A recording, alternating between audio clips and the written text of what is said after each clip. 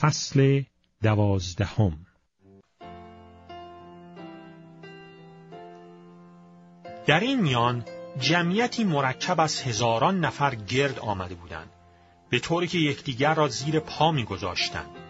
عیسی قبل از همه با شاگردان خود شروع به سخن کرده گفت از خمیرمایه فریسیان یعنی ریاکاری آنان برحذر باشید. هرچه پوشیده است عاقبت پرده از رویش برداشته خواهد شد و هرچه پنهان است آشکار خواهد شد. بنابراین آنچه را که در تاریکی گفته اید در روشنایی روز شنیده خواهد شد و آنچه را که پشت درهای بسته نجوا کرده اید روی بامها اعلام خواهد شد. به شما که دوستان من هستید می‌گویم از کسانی که بدن را می‌کشند و بعد از آن کار دیگری از دستشان بر نمیآید نترسید. شما را آگاه می‌سازم که از کی باید بترسید. از آن کسی بترسید که پس از کشتن اختیار دارد به جهنم اندازد. آری می‌گویم از او باید ترسید. آیا قیمت پنج گنجش دو ریال نمی باشد؟ اما هیچ کدام از آنها از نظر خدا دور نیست. علاوه بر این حتی موهای سر شما تماما شمرده شده است. هیچ نترسید شما از گنجشکای بیشمار بیشتر ارزش دارید. بدانید هر که در برابر مردم خود را از آن من بداند پسر انسان در برابر فرشتگان خدا او را از آن خود خواهد دانست اما هر که در برابر مردم بگوید که مرا نمی‌شناسد در حضور فرشتگان خدا ناشناس محسوب خواهد شد. هر که کلمه ای بر ضد پسر انسان بگوید بخشوده خواهد شد. اما برای آن کسی که به روح القدس بد بگوید بخشودگی وجود نخواهد داشت. وقتی شما را به کنیسه ها و دادگاه ها و به حضور فرمانروایان میآورند نگران نباشید که چطور از خود دفاع کنید و چه بگویید. چون در همان ساعت روح القدس به شما نشان می دهد که چه بگویید. مردی از میان جمعیت به عیسی گفت ای استاد به برادر من بگو ارث خانواده را با من تقسیم کند. جواب داد ای مرد کی مرا در میان شما قاضی و حکم قرار داده است؟ بعد به مردم فرمود برحذر باشید. از هر نوع حرس و طمع خود را دور بدارید. زیرا زندگی واقعی را ثروت فراوان تشکیل نمی دهد. سپس برای ایشان این مثل را آورده گفت مردی زمینی داشت که محصول فراوانی آورد با خود فکر کرد که چه کنم جا ندارم که محصول خود را انبار کنم سپس گفت خب فهمیدم چه کار کنم انبارها را خراب می کنم و آنها را بزرگتر می سازم.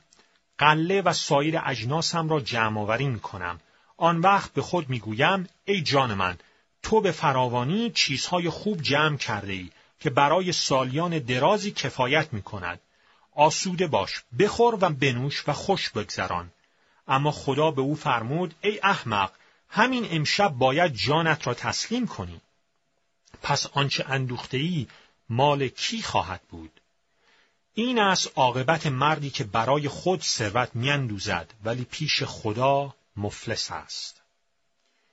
به شاگردان فرمود به این سبب است که به شما می‌گویم به خاطر زندگی نگران غذا و برای بدن نگران لباس نباشید. زیرا زندگی بالاتر از غذا و بدن بالاتر از لباس است. به کلاخها فکر کنید. نه میکارن و نه درو می‌کنن نه انبار دارن و نه کاهدان ولی خدا به آنها روزی می‌دهد. شما خیلی بیشتر از پرندگان ارزش دارید. آیا یکی از شما می‌تواند با نگرانی ساعتی به طول عمر خود بیافزاید پس اگر شما کاری به این کوچکی را هم نمی‌توانید بکنید چرا در مورد بقیه چیزها نگران هستید؟ در رشد و نمو سوسنها تحمل کنید. نه میریسند و نه میبافند ولی بدانید که حتی سلیمان هم با آن همه حشمت و جلال مثل یکی از آنها آراسته نشد. باری اگر خدا علافی را که امروز در صحرا می‌روید و فردا در تنور سوخته می شود چنین می آراید چقدر بیشتر ای کم ایمانان شما را خواهد پوشانید. برای آنچه می‌خورید و میآشامید اینقدر تقلا نکنید و نگران نباشید. چون اینها تماما چیزهایی است که مردم این دنیا دنبال می کنند. اما شما پدری دارید که می‌داند به آنها محتاجید. شما پادشاهی او را هدف خود قرار دهید و بقیه چیزها به سراغ شما خواهد آمد. ای گله کوچک، هیچ نترسید، زیرا خوشی پدر شما در این است که آن پادشاهی را به شما عطا کند. آنچه دارید بفروشید و به فقرا بدهید و برای خود کیسه هایی فراهم کنید که کهنه نمی شود و ثروتی در آن عالم ذخیره نمایید که هیچ کاسته نمی گردد و هیچ دوزی نمی تواند به آن دستبرد بزند و بید آن را تباه نمی کند. زیرا اموال شما هر کجا باشد دل شما هم آنجا خواهد بود. با کمرهای بسته و چراغهای روشن آماده کار باشید. مانند اشخاصی باشید که منتظر آمدن ارباب خود از یک مجلس عروسی هستند و حاضرند که هر وقت برسد و در را بکوبد او را به داخل بیاورند. خوشا به حال خادمانی که وقتی اربابشان میآید آنان را چشم به راه ببیند. یقین بدانید که کمر خود را خواهد بست. آنان را بر سر سفره خواهد نشانید و به خدمت آنها خواهد پرداخت. چه نیمه شب باشد و چه قبل از سبیده دم. خوشا به حال آنان اگر اربابشان وقتی میآید ملاحظه کنند که آنها چشم به راه هستند. خاطر جمع باشید.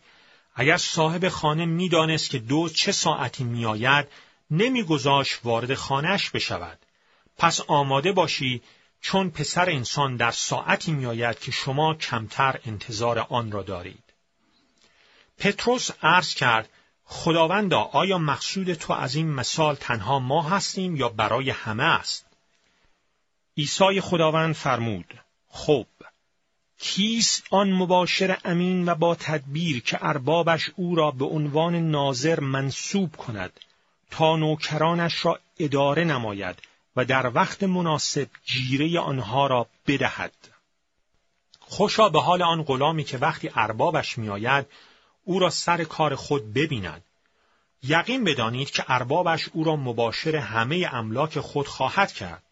اما اگر آن غلام به خود بگوید ارباب به این زودی ها نخواهد آمد و دست به آزار غلامان و کنیزان بزند و بخورد و بنوشد و مستی کند یک روز که آن غلام انتظارش را ندارد و در ساعتی که او نمی‌داند ارباب خواهد رسید و او را تکه تکه خواهد کرد و به این ترتیب او جزو نامتیان خواهد شد. غلامی که خواسته های ارباب خود را می‌داند و با وجود این برای اجرای آنها هیچ اقدامی نمی کند، با شلاق ضربه های بسیار خواهد خورد. اما کسی که از خواسته های اربابش بیخبر است و مرتکب عملی می شود که سزاوار تنبیه می باشد، ضربه های کمتری خواهد خورد. هرگاه به کسی زیاده داده شود، از او زیاد مطالبه خواهد شد و هرگاه به کسی زیادتر سپرده شود، از او زیادتر مطالبه خواهد کرد. من آمدم تا بر روی زمین آتشی روشن کنم و ای کاش زودتر از این روشن می‌شد. من تعمیدی دارم که باید بگیرم و تا زمان انجام آن چقدر تحت فشارم. آیا گمان می کنید من آمدم تا صلح بر روی زمین برقرار کنم؟ خیر اینطور نیست. بدانید که من آمدم تا تفرقه بیاندازم. زیرا از این پس بین پنج نفر اعضای یک خانواده تفرقه خواهد افتاد. سه نفر مخالف دو نفر و دو نفر مخالف سه نفر خواهند بود. پدر مخالف پسر و پسر مخالف پدر مادر مخالف دختر و دختر مخالف مادر، مادر شوهر مخالف عروس و عروس مخالف مادر شوهر. همچنین به مردم فرمود شما وقتی می‌بینید که ابرها از مغرب نمودار می‌شوند فورا می‌گویید می‌خواهد باران ببارد و باران هم میبارد. و وقتی باد از جنوب میآید می‌گویید گرمای شدیدی خواهد شد و همینطور می‌شود. ای ریاکاران شما که می توانید به زواهر زمین و آسمان نگاه کنید و حالت آن را پیش بینی کنید چگونه از درک معنی این روزگار عاجزید چرا نمی توانید راه راست را برای خود تشخیص دهید؟ اگر کسی علیه تو ادعای کند و تو را به دادگاه بکشاند، سعی کن هنگامی که هنوز در راه هستی با او کنار بیایی و الا او تو را پیش قاضی می‌برد و قاضی تو را به دست پاسبان می‌دهد و پاسبان تو را به زندان میاندازد. بدان که تا دینار آخر را ندهی بیرون نخواهی آمد.